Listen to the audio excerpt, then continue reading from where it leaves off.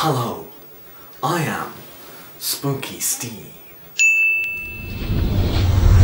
So, Steve, when did you first want to become a ghost hunter? It's a hard story to tell. When I was young, if you can believe it, I had a hamster named Nibbles. Nibbles died, you see.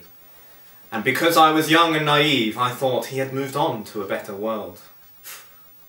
At night, I began to see Nibbles around my room, nibbling. I could hear him every night. Nibbles had not left me. That's when I began to believe in ghosts. When did you see your first human ghost? When I was a young lad of 17, I was travelling the dangerous dark streets of Oxford. I found a disembodied head. It belonged to undead Fred. He is now my guiding spirit, and he is here with me now, in this room. How did you get your big TV break? I had the voice.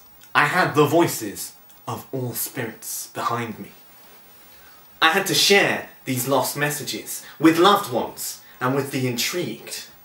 So I thought the best way I can do this It's on channel 811 Boohoo TV 8 till 9 Wednesdays to Fridays. That is how I share my message. Tell us about the best ghosts you've seen in the nine series so far of hunting ghosts.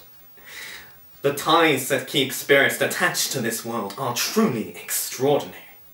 From a man who once haunted a Cornish pasty factory, from a man who still haunted the bagpipes that he loved so dearly, a man who would haunt snowmen just to eat the carrots.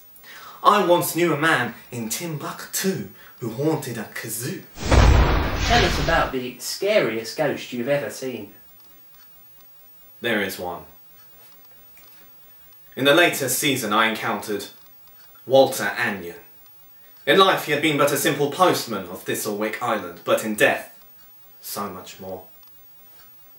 I had many encounters with this man, this spirit, and each time I was left with a cold touch of terror in my heart, a personal grudge he has against me, which you can find out about on Hunting Ghosts with Spooky Steve Season 10, coming soon.